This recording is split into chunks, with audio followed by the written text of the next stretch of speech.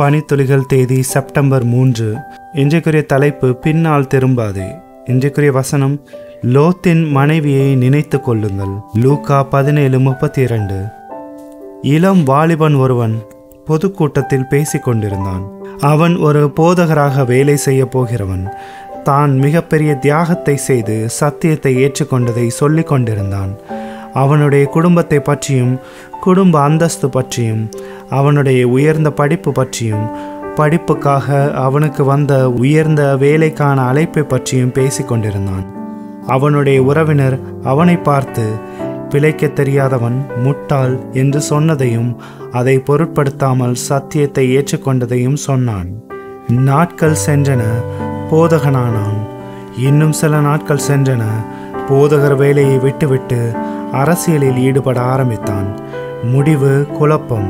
ஆம் அவன் திரும்பி பார்க்க ஆரம்பித்தான்.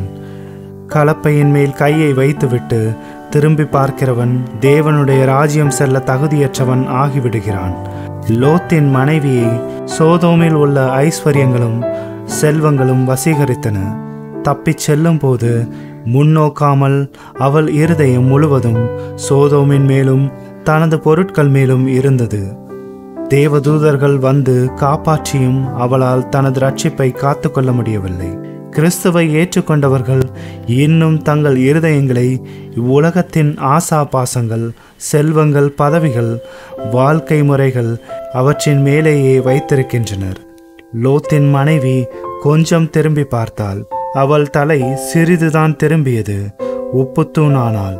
இன்று அநேகர் நடமாடும் உப்புத்தூண்களாக இருக்கின்றனர். ஆண்டவர் தரும் எச்சரிப்பு லோத்துவின் மனைவியை நினைத்து கொள்ளுங்கள். நாம் நம்முடைய கெட்ட நண்பர்களிடமிருந்தும் கெட்ட பழக்க வழக்கங்களில் இருந்தும் நம்மை பிரித்து கொள்ள வேண்டும். சுருங்கச் சொன்னால் இவ்வுலகத்தின் இச்சைகளிலிருந்து நம்மை விலக்கிக் கொள்ள வேண்டும். பரலோக ராஜ்யத்தின் வாழ்க்கை முறையை பின்பற்றி வாழ வேண்டும். எபிரேயர் ஆறாம் அதிகாரம் சொல்கிறது ஏனெனில் ஒரு தரம் பிரகாசிக்கப்பட்டும். பரம ஈவை ருசி பார்த்தும். பரிசுத்த ஆவியை பெற்றும்.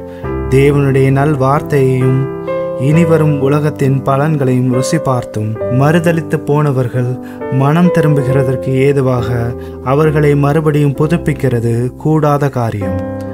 ஜெபம். அன்பின் தேவனே சிலுவை என் முன்னே உலகம் என் பின்னே என்று வாழ விரும்புகிறேன். வழிநடத்தும். ஆமேன்.